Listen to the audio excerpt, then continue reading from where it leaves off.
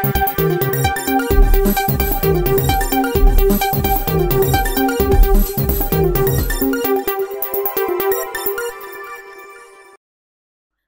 Menteri Datuk Seri Anwar Ibrahim dan anggota Kabinet mendesak Pertubuhan Bangsa-Bangsa Bersatu PBB menerima Palestin sebagai negara anggota.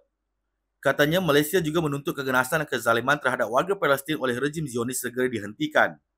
Gesaan itu disampaikan melalui gerakan menandatangani poskad khas oleh Jemaah Menteri pagi ini yang ditujukan kepada Setiausaha Agung PBB Antonio Guterres.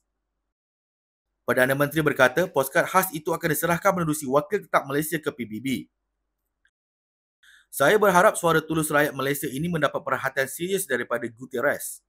Rakyat Malaysia boleh ikut serta dalam kempen pengiriman poskad khas kepada Setiausaha Agung PBB dengan membeli poskad ini bermula esok di semua pejabat pos atau menerusi laman sesawang rasmi Pos Malaysia Berhad, kata Anwar dalam hantarannya di Facebook.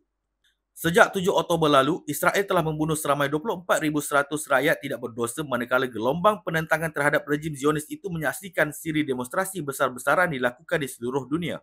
Tahniah Kerajaan Perpaduan Madani terus bekerja untuk rakyat.